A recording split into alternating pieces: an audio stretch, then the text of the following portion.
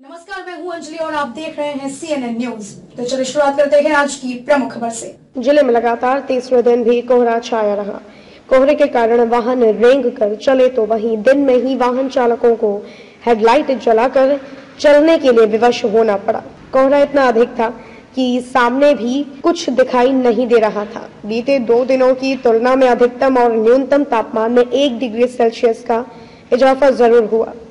लेकिन सर्दी से कोई खास राहत नहीं मिली। सोमवार को अधिकतम तापमान 14 डिग्री और न्यूनतम तापमान 7 डिग्री रहा।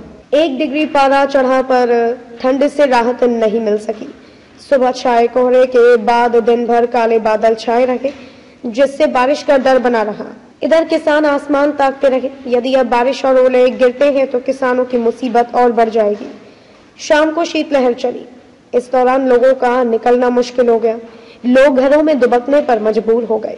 लोगों ने पूरे दिन अलाव का सहारा लिया और शाम ढलते ही बाजारों में सन्नाटा पसर गया। रविवार को बारिश थमने के बाद देर रात से ही कोहरा छा गया, जो दूसरे दिन सोमवार शाम तक बना रहा।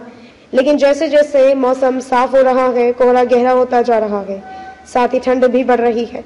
किसानों ने बताया कि बारिश से जहाँ गेहूँ की फ़सल को फ़ायदा हुआ है तो वहीं कोहरे व पाले से चना, मसूर, मटर, सरसों सहित बागवानी फ़सलों को नुकसान होने का अनुमान लगाया जा रहा है। ठंड व कोहरे के कारण चना, मसूर व मटर की फ़सल में रोग लग सकता है। साथ ही फूलने के कगार पर पहुँच चुके दलहन व तिलहन फ़सलों के फूल कोहरे की मांग से मुरझा कर झड़ सकते हैं। खबरों में अब तक लिए बस इतना ही। मिलते हैं फिर ऐसे ही किसी बड़ी खबर के साथ। तब तक के लिए नमस्कार और देखते रहिए सीएनएन न्यूज़